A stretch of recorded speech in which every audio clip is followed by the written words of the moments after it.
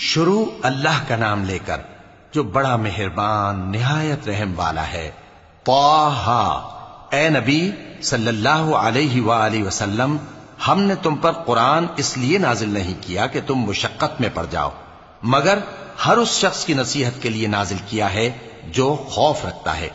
ये उस जात का उतारा हुआ है, जिसने ज़मीन और ऊँचे ऊँचे आसमान बनाए, यानी रहमान, जो अर्श पर जलवा अफरोज हुआ। जो कुछ आसमानों में है और जो कुछ ज़मीन में है और जो कुछ इन दोनों के बीच में है और जो कुछ मिट्टी के नीचे है, सब उसी का है। और अगर तुम पुकार कर बात कहो तो क्या है? वो तो आहिस्ता कही हुई और निहायत पोशीदा बात तक को जानता है।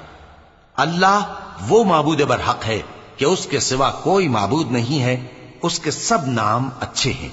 और क्या तुम्हें मूसा के हाल की खबर मिली है? जब उन्होंने आग देखी तो अपने घर वालों से कहा कि तुम यहाँ ठहरो, मैंने आग देखी है, मैं वहाँ जाता हूँ, शायद उसमें से मैं तुम्हारे पास अंगारा लाऊं या आग के मकाम से अपना रास्ता मालूम कर सकूँ।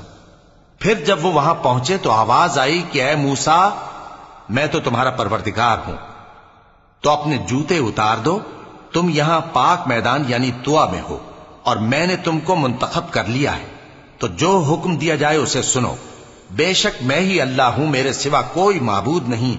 तो मेरी इबादत किया करो और मेरी याद के लिए नमाज़ पढ़ा करो।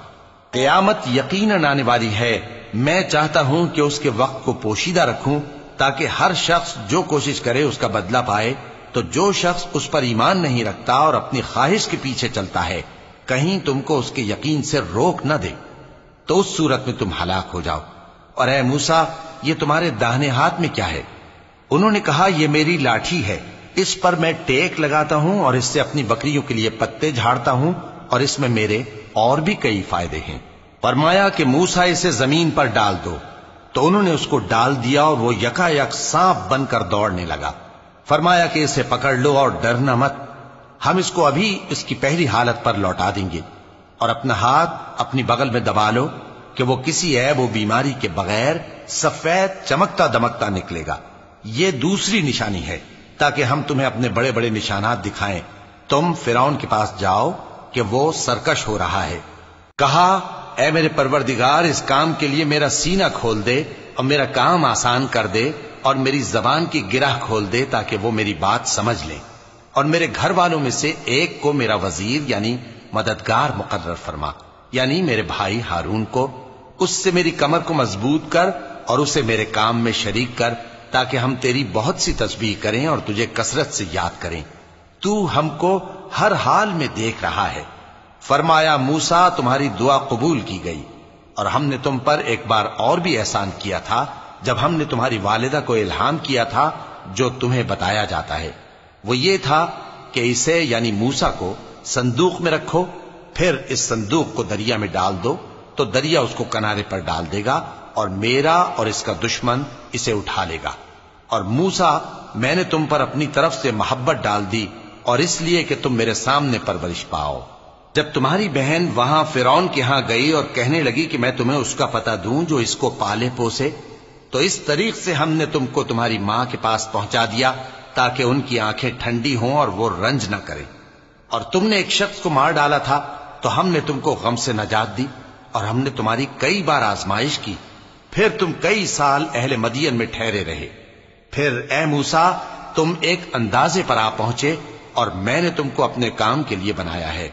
तो तुम और तुम्हारा भाई दोनों हमारी निशानियाँ लेकर जाओ और मेरी याद में सुस्ती न करना। दोनों फिरौन के पास जाओ कि वो सरकश हो रहा है और उससे नरमी से बात करना, शायद वो गौर करे या डर जाए।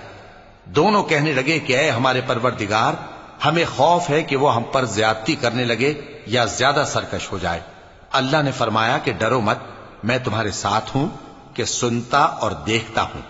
अच्छा तो उसके पास जाओ और कहो कि हम आपके परवरदिगार के भेजे हुए हैं तो बनी इसराइल को हमारे साथ जाने की इजाज़त दीजिए और उन्हें अजाब न कीजिए।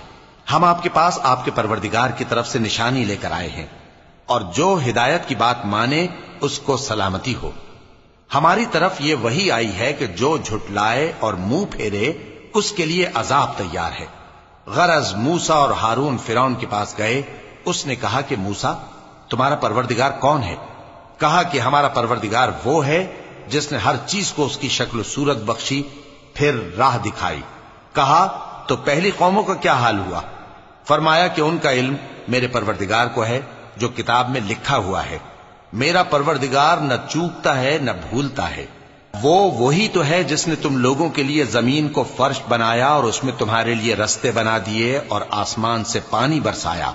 फिर उससे मुख्तलिफ़ नबातात पैदा की कि खुद भी खाओ और अपने मवेशियों को भी चराओ। बेशक इन बातों में अक्ल वालों के लिए बहुत सी निशानियाँ हैं।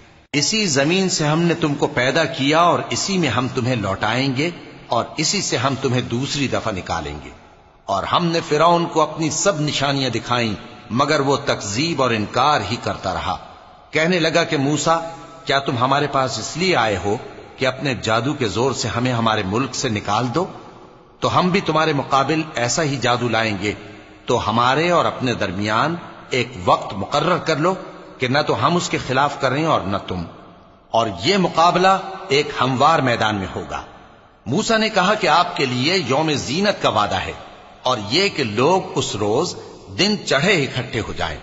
तो फिर लौट गया और अपने सामान जमा करके फिर आया। मूसा ने उन जादूगरों से कहा कि यह तुम्हारी बर्बादी होगी। अल्लाह पर झूठ न बांधो, वो तुम्हें अजाब से फना कर देगा। और जिसने झूठ बांधा, वो नामुराद रहा। तो वो बाहम अपने मामले में झगड़ने और चुपके चुपके सरगोशी करने लगे। कहने लगे, ये दोनों जादूगर हैं। चाहते हैं कि अपने जादू के ज़ोर से तुमको तुम्हारे मुल्क से निकाल दें और तुम्हारे बेहतरीन मज़हब को नाबूद कर दें। तो तुम जादू का सामान इकट्ठा कर लो और फिर कितार बाँध कर आओ। आज जो गालिब रहा, वही कामयाब हुआ। जादूगर बोले कि, मूसा, या तो तुम अपनी चीज़ डालो, या हम अपनी चीज़ें पहले डालते हैं। मूसा ने कहा, बल्कि तुम ही पहले डालो। जब उन्होंने चीज़ें डाली तो यकायक उनकी रस्सियाँ और लाठियाँ मूसा के ख्याल में ऐसी आने लगी कि वो मैदान में इधर उधर दौड़ रही हैं। उस वक्त मूसा ने अपने दिल में खौफ महसूस किया।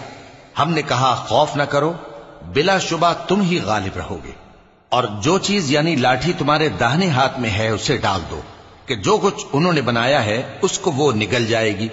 जो कुछ उन्होंने बनाया है, ये तो जादूगरों के हथकंडे हैं। और जादूगर जहाँ भी जाए, कामयाब नहीं होगा। इस पर जादूगर सजदे में गिर पड़े। कहने लगे कि हम मूसा और हारून के परवरदिगार पर ईमान लाए। फिरौन बोला कि पेशतर इसके कि मैं तुम्हें इजाज़त दूँ, तुम इस पर ईमान ले आए। बेशक ये तुम्हारा बड़ा यानी उस्ताद है, जिसने तुमको जादू सिखाया है। सो मैं तुम्हारे हाथ और पाँव मुखालिफ समत से कटवा दूँगा और तुमको खजूरों के तनों पर सूली चढ़वा दूँगा। और तुमको मालूम होगा कि हम में से किसका अजाब ज़्यादा सख्त और देर तक रहने वाला है। उन्होंने कहा कि जो दलाइल हमारे पास आ गए हैं, उन पर और जिसने हमको पैदा किया है उस पर, हम आपको हरगिज तरजीह नहीं देंगे। तो आपको जो हुक्म देना हो दे दीजिए। और आप जो हुक्म दे सकते हैं, वो सिर्फ़ इसी दुनिया की ज़िंदगी में दे सकते हैं।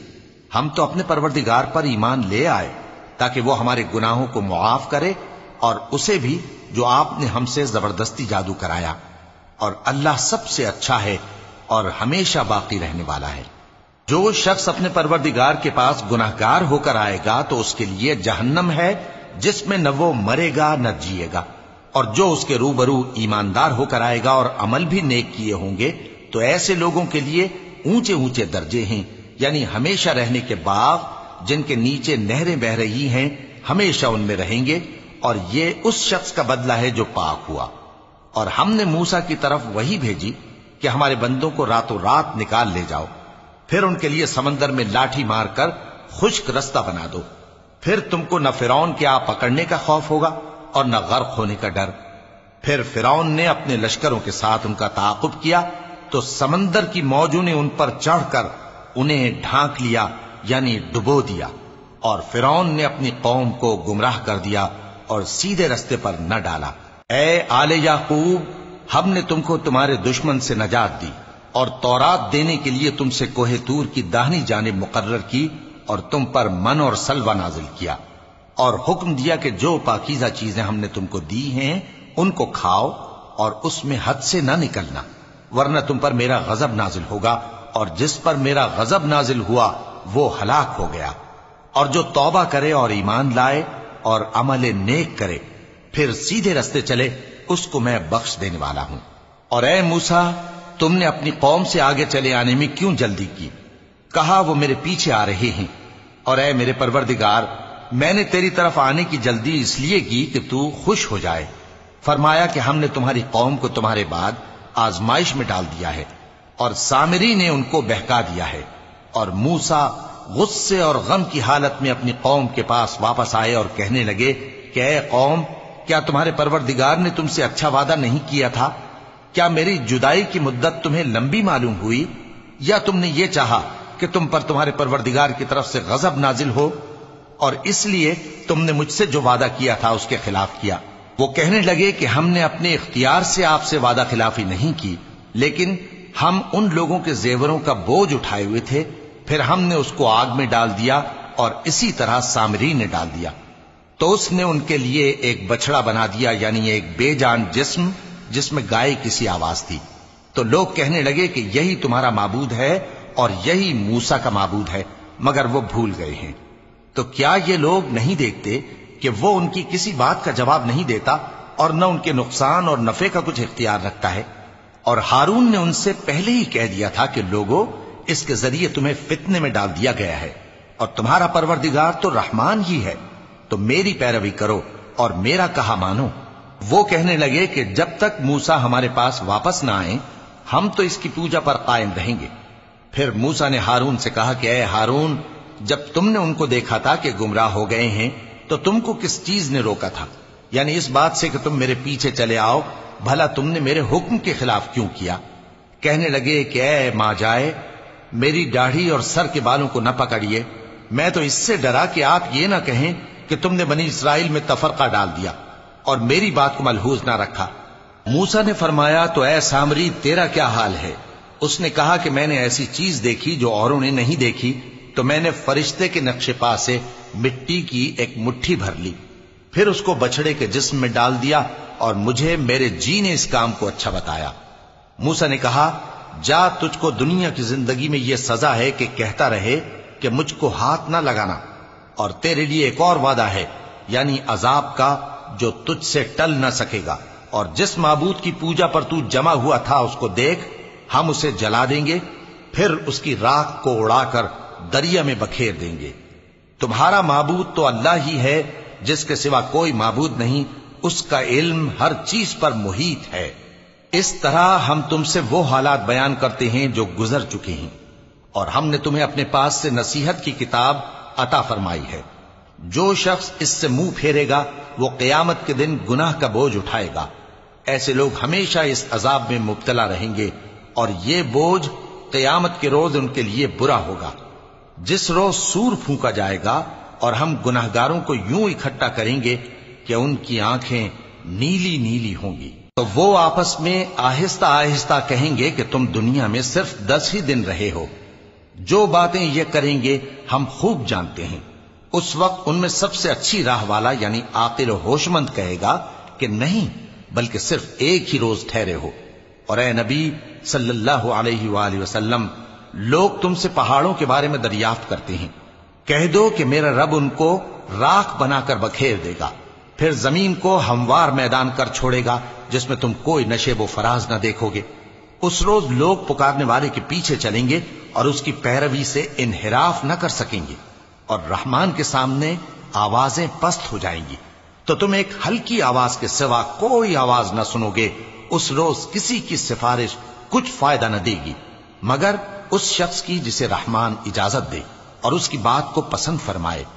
जो कुछ उनके आगे है और जो कुछ उनके पीछे है, वो उसको जानता है और वो अपने इल्म से अल्लाह के इल्म का अहाता नहीं कर सकती। और उस ज़िंदा कायम के रूबरू मुँह लटक जाएँगे, और जिसने जुल्म का बोझ उठाया, वो नामुराद रहा। और जो नेक काम करेगा और मोमिन भी होगा तो उसको न जुल्म का खौफ होगा और न नुकसान का। और हमने इसको इसी तरह का कुरान अरबी नाजिल किया है, और इसमें तरह तरह के डरावे बयान कर दिए हैं, ताकि लोग परहेजगार बने, या अल्लाह उनके लिए नसीहत पैदा कर दे। तो अल्लाह जो सच्चा बादशाह है, आली कद्र है और कुरान की वही जो तुम्हारी तरफ़ भेजी जाती है, उसके पूरा होने से पहले कुरान के पढ़ने में जल्दी न किया करो और दुआ करो कि मेरे परवरदिगार मुझे और ज़्यादा इल्म दे। और हमने पहले आदम से अहद लिया था, मगर वो उसे भूल गए और हमने उनमें इरादे की पुख्तगी न पाई। और जब हमने फरिश्तों से कहा कि आदम के आगे सजदा करो तो सब सजदे में गिर पड़े, मगर इबलीस ने इनकार किया। इस पर हमने फरमाया कि आदम ये तुम्हारा और तुम्हारी बीवी का दुश्मन है तो ये कहीं तुम दोनों को बहिस्त से न निकलवा दे। फिर तुम तकलीफ़ में पड़ जाओ। यहाँ तुमको ये आसाइश है कि न भूखे रहो, न नंगे, और ये कि न प्यासे रहो और न धूप खाओ।